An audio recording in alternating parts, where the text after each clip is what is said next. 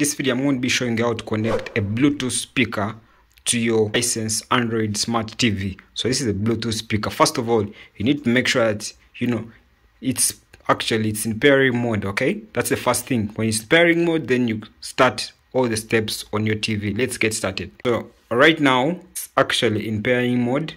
TV remote, press the home button right there. Make sure it's the home aspect, okay?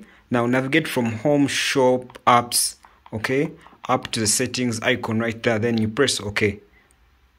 Then move down to remotes and accessories. Press OK.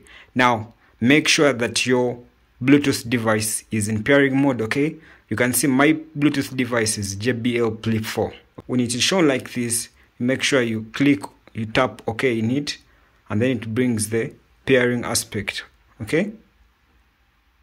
Then it shows that it is pairing, and then Bluetooth pairing request, JBL 4 pair with this device, then you press OK.